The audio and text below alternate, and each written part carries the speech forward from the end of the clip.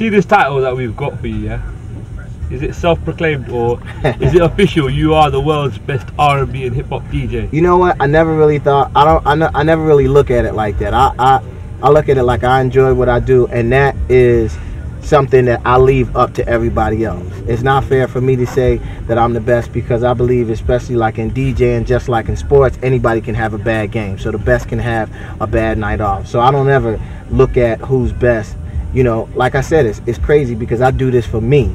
You know, it, it, as much as I enjoy playing for people, I think I enjoy the parties more than the people I'm playing for. So, and as long as as long as as, as I can do that, I'm gonna continue doing what I'm doing.